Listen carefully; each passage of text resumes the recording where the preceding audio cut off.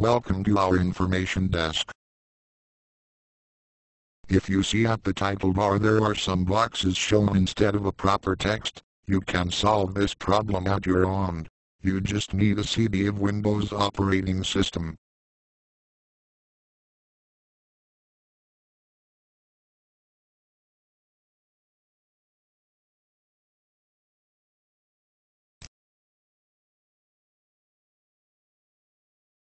Go to the control panel of your system.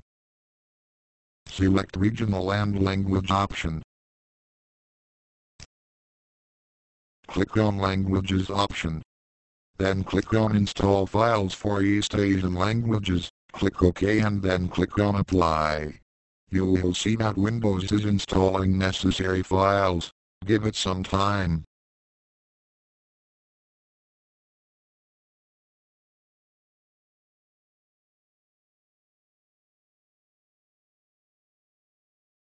Click on Yes to restart your system.